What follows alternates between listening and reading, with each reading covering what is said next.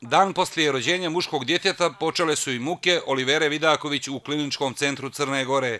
Iz uredne trudnoće i prirodnog porođaja zdravog dječaka, dan poslije osoblje kliničkog centra nije joj bebu donijelo na podoj. Na moje pitanje zašto ne donose bebu na podoj, njihov odgovor je bio da se beba hrani u boksu jer gubi malo na težini.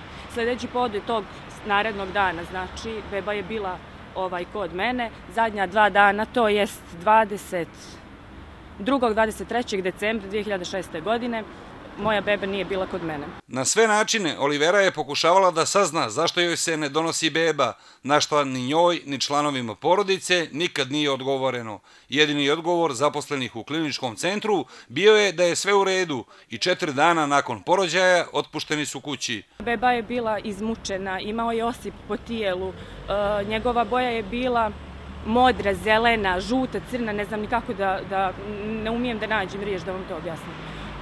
Eh, spavao je, nije otvarao oči. Ako bi se desilo nekad na jedan trenutak, malo progleda, onda opet sklopi okice. Njegovi pokreti su bili usporeni, to je znaci njegovog života su stvarno bili minimalni. Kako je to bio prvi porođaj, Olivera je već narednog dana bebu preko veze dovela u odjeljenje za neonatologiju kliničkog centra, gdje je data dijagnoza stafilokokne infekcije i novorođanačke sepse.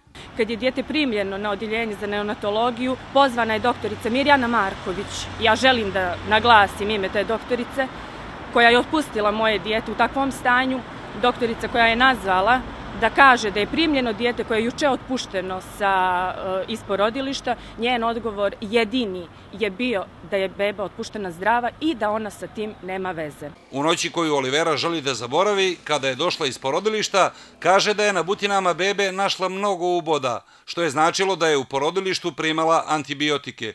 Kada je njena porodica u kliničkom centru tražila objašnjenje šta se dogodilo, nije ih primio niko, pa ni tadašnja načelnica, ni ljekar koji je Oliveru porodio.